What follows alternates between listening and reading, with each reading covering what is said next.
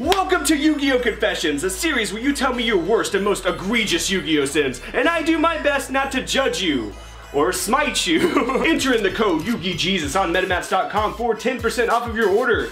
MetaMats.com is the best sponsor in all of Yu-Gi-Oh! by a lot. They make the best mats by a lot too. Just saying. Alright, let's get this open and start with these sins. Forgive me, Yugi Jesus, but in Yu-Gi-Oh! Sins Episode 6, you said not to tear up our cards. Huh? I really don't know what episode we're on. so I went and found a card I don't give a fuck about and tore it to say no and to give myself a laugh. Although I'll never do it again, it's while, while I'm typing this I feel bad. Oh well, worth the laugh, I guess. Uh, I think I would say it was worth it. It was a Dark Lord card. Yeah, that, that deck's really bad. no, but seriously, as a rule of thumb, yeah, maybe don't tear up your cards. But it's your property, so you can do whatever you want with your own property. Just don't tear up other people's cards without their permission. That would be the sin. Forgive me, Yugi Jesus, for I've sinned. Several years ago, I sold away my, to a local card shop a bunch of Yu-Gi-Oh cards because I needed the money. But the sin was selling away my only Air Neos card, believing that he will get reprinted in the future. And this was long before I discovered that Air Neos was never gonna get reprinted. Rippin' peps. No, um, it might, I mean, don't say never. I mean, all kinds of things could get reprinted. But yeah, I mean, they've, they've, reprinted prize cards and all kinds of things, guys. like, don't, don't ever say never. But yeah, uh, I will say that any batch of Yu-Gi-Oh cards that I sold, I, I, regret it. And at one point, I had somebody else selling cards for me, and they sold a bunch of stuff that they shouldn't have. And I regret that even more because I'm to, to, this day I'm still missing some really really cool stuff I used to have. So yeah, um, hang on to your cards. Like as a rule of thumb, the best way to avoid all that is to hang on to all of your cards. But uh, it's not very practical to like buy up everything, you know.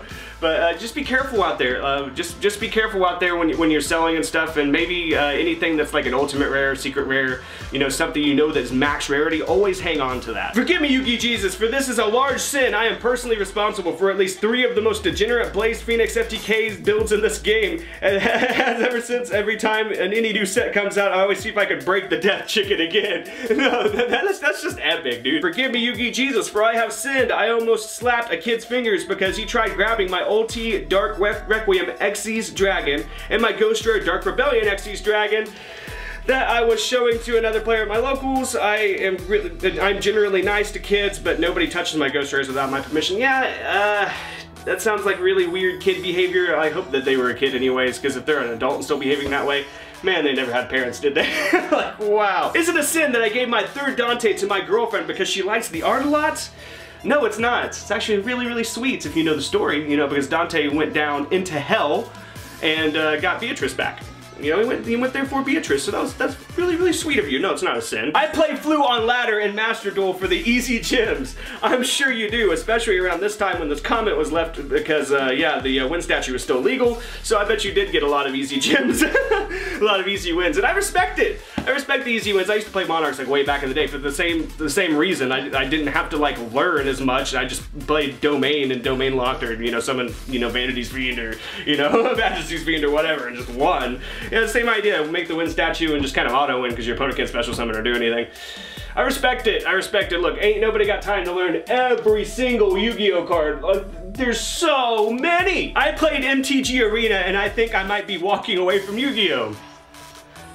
I don't blame you, but like, going from one card game collecting useless cardboard to another card game collecting useless cardboard, or nowadays, you know, collecting fake digital useless cardboard to another game collecting fake digital useless cardboard. You know, I just don't feel like you're making a good transition in life. You know, maybe transition into something important. Forgive me, Yugi Jesus, for I have sinned. I bought Earth Machine for my brother after he quit, and I think the deck is more fun to play than Cyber... My build being Dozer Control, aka MIT, since Earth Machine is a bit of a broad definition. Look, Cyber Dragons are the best machine deck of all time.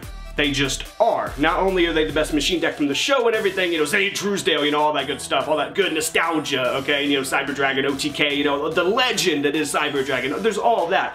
But on top of everything else, Cyber Dragons 1v1 with ease any other machine deck because of Chimera Tech. Cyber Dragons eat other machine decks alive because of Chimera Tech. Cyber Dragons are the king machine deck for that. They can 1v1 any other machine deck and win with ease. It's just how it is. It's not my fault I picked the better machine deck. It's, it's just not my fault, guys. Not my, not my fault that I'm right all the time. Forgive me, Yugi Jesus. I hath sinned. I like the officialness. I hath sinned. This always cracked me up. I would always T-pose and start yelling JoJo lines in Japanese on my on my opponent when summoning Golden Lord in, in, in Emancipator format. Was that even a format? Like, like that deck was a deck for like zero amount of time. but anyways, uh, forgive me, Poppy, for I'm about to sin. I want to drop everything and become a Yugi tuber. Ooh, that's just not a good idea. Forgive me, Yugi Jesus, for my locals has sinned. There was a guy that came in with what can only be described as a playground deck. Ooh, and we beat him so badly that he hasn't been dubbed. No. In my defense, I built him a budget branded deck, but he refused to play it. I should clarify that the guy was fully grown adult. He just didn't want to play an archetype. Yeah, mental health is so layered and nuanced, guys. I actually don't know how to describe this kind of behavior, but we're going to discuss this kind of behavior more later. I will tell you that, and a spoiler alert, but whatever, because I've, I've kind of briefly read over a longer message. But um, yeah, I don't know how to I don't know how to categorize that or describe that except to say that it's undesirable pretend behavior exhibited by people that were raised by screens and that have attached themselves to certain things from those screens. And even that's not exactly hitting the nail on the head. You know, like I said, layered, like mental health is layered and nuanced, but you guys get me. It's weird pretend behavior that a lot of Yu-Gi-Oh players exhibit. Forgive me, Yugi Jesus, for I have sinned. I have given into the temptation of the Runick deck and have even gone so far as to deck out and throw other Runick players with it. That's that's just dedication to the art and to the deck, right? no, you're fine. Forgive me, Yugi Jesus, for I have sinned. I gave my Blue Eyes Dragons to my sibling and make decks that I can win against them with.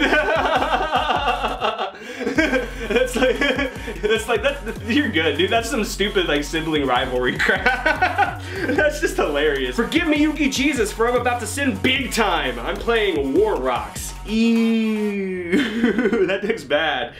Has that deck even come out in the OCG? It wouldn't surprise me if it didn't, because the deck is not good at all. That deck is like, I remember the memes about that deck when it first came out, but all the memes were missing the point about what the archetype's based off of, which that, that's called soft disclosure. I think it's, you know, in all kinds of media. Soft disclosure in all media is hilarious, but especially in Yu-Gi-Oh! I mean, it's, uh, I mean, I can't even discuss it all without getting out of character, guys. it's so funny. Forgive me, YugiNoNo, for I have sinned, for my lack of presence away from my locals. The store is shutting down for good by the end of the month, making the closest locals to me an hour away. I failed to keep my Yugi community together. You did not fail them, they failed you. I've seen your other messages in here, I just passed one a little bit ago. You did not fail them, they failed you. Forgive me, O Messiah, for I have sinned. I have played a Factor, Turn Skip, and I liked it. What's, what's an Amorphactor? Actually, I have no idea.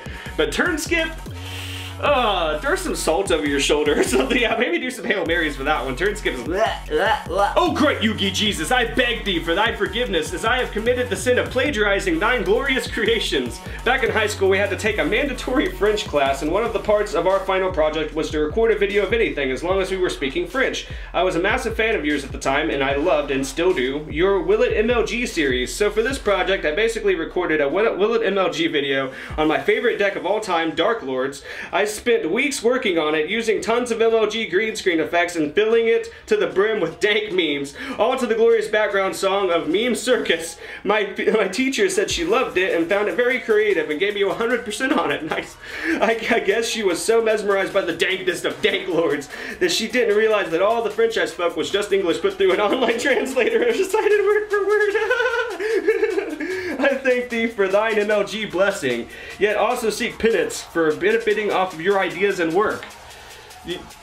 I wasn't doing anything creative. like I was ripping off those stupid MLG videos that were already popular at the time. and the green screen work was already done for me, dude. also, is it is it in the future to see more Will It MLG videos? I don't think those are popular anymore, are they? I, I don't think so. As a matter of fact, I think that those were falling falling out of popularity even when I was like, you know, parodying them for my Yu-Gi-Oh purposes. Now, if there's any like, if there's any series that I would like to continue on the channel that I used to do, I mean, I obviously continue the show and the skits. Um, you know, and I still do Cyber Dragon deck profiles and stuff, you know, sometimes. But like, the, the one thing that I would like to continue is the um, Yu-Gi-Oh in five minutes or less, because like all the puns and jokes are already there in Yu-Gi-Oh. It just needs to be recut and re-edited, you know, to be funny because Yu-Gi-Oh is hilarious, like on its own, like really. and uh, yeah, I was just, uh, I did like two or three episodes of it, and like I would I would do that some more, like because I, I I had a fun time doing it, and I think it was just it was right on point, and I think that. Um, yeah, I think I did everything I wanted to in that series as far as like recutting Yu-Gi-Oh to show the ridiculous ridiculousness of the original show. I think I think I got it 100% right. And so like, uh, yeah, that, that'd be the series that I would want to continue, I think. Forgive me, Yugi Devil, for I have sinned again. You're the Yugi Devil, I'm not the Yugi Devil. I keep four cards in one card sleeve. Brilliant Fusion, Torrential Tribute, Toon World, and Performage Trick Clown. And I have to agree with this next comment here, but why? Seriously, Brilliant Fusion I understand even though it's banned. Great card. Torrential Tribute, classic, great card. Performage Trick Clown, rank 4 machine, great card. Toon World? Toon World's one of my favorite cards of all time, but it's not good. like, and I like how it's not even Toon Kingdom, it's Toon World. I have so many questions. oh, Yugi Jesus, I am here for another sin, and I hope that you will forgive them, even though he is the son of Dark Ruler Hades. So he's royalty? a few years ago, I pulled a Thunder Dragon Colossus back when it still never had a reprint. I was very young and new to the game, so I had no idea what the card prices existed. A player much older than me took advantage of this. Uh, he said that he would give me an awesome deal. I'm, oh, I'm sure. If I gave his my if I gave him my Colossus, he would give me a Crystron Avatar. The player was near his mid 20s when I was nine years old. Wow, what a fucking loser.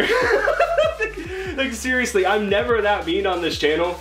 Um, like, no, I'm seriously never mean uh, on this channel at all. Um, matter of fact, I have an anti-bullying video on this channel. But seriously, what a loser.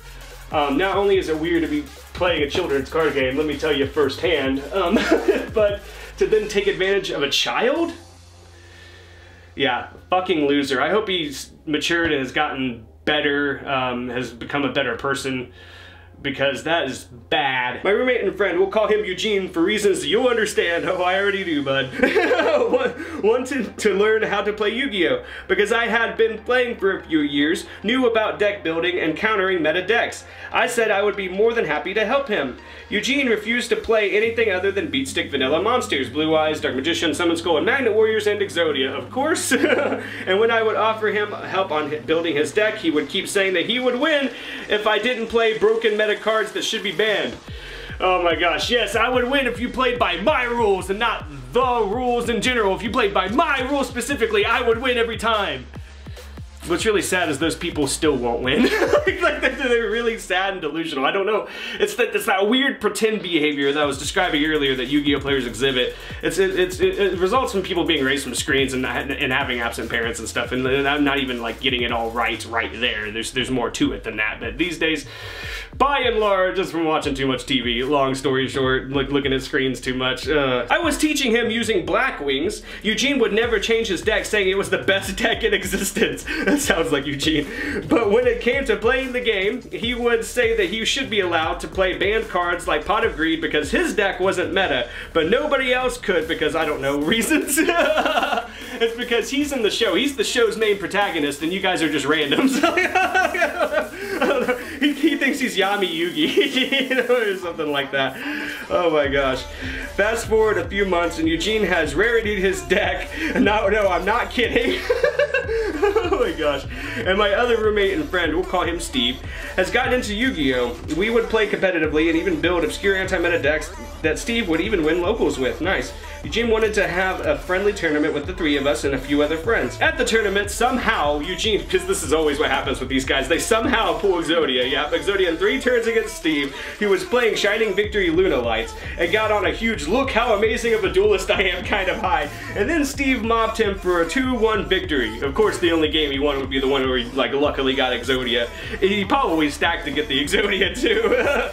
Then Eugene got really salty the rest of the evening and went up against me. I was playing Crystal Beast, so that I should that should really tell you how casual this was. Yeah, even Crystal Beast with all the support, yes, very casual. I proceeded to 2-0 him, and Eugene went back to ranting about how I only played meta decks that should be banned. Because once again, even if you were playing by his rules, he would totally win every time, right? Yeah, whatever. I then got incredibly frustrated and yelled about how he got incredibly lucky because Steve was playing a deck that didn't even have all of its cards yet, and Eugene somehow managed to pull his win con. Win con.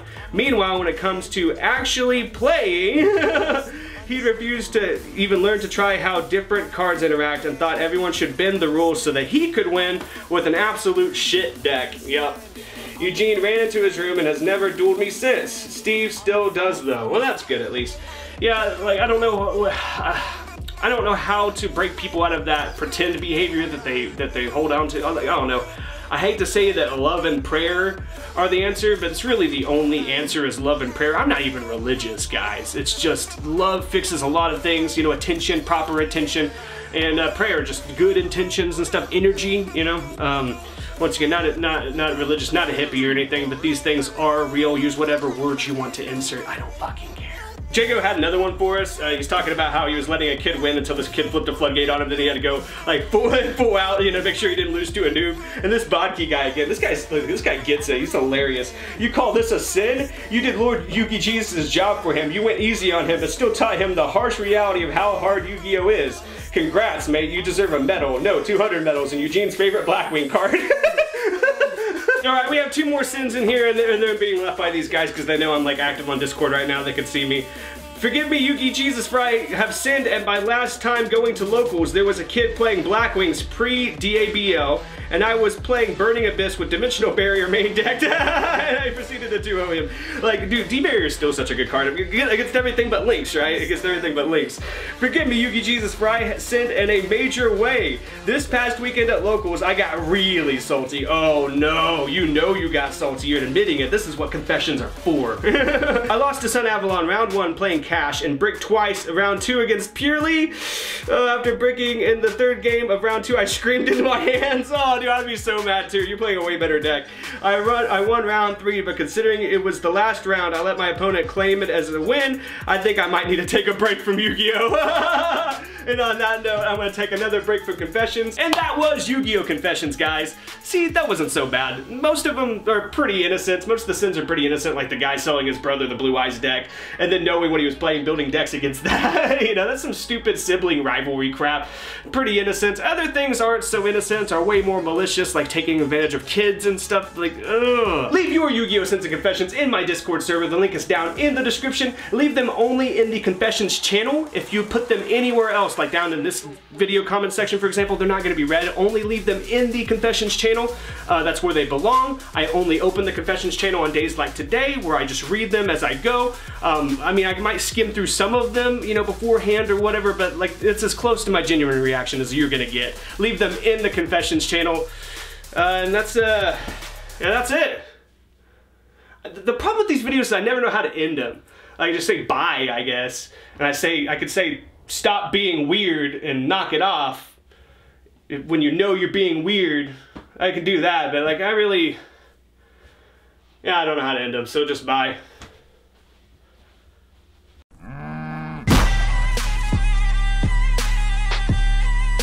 Subscribe.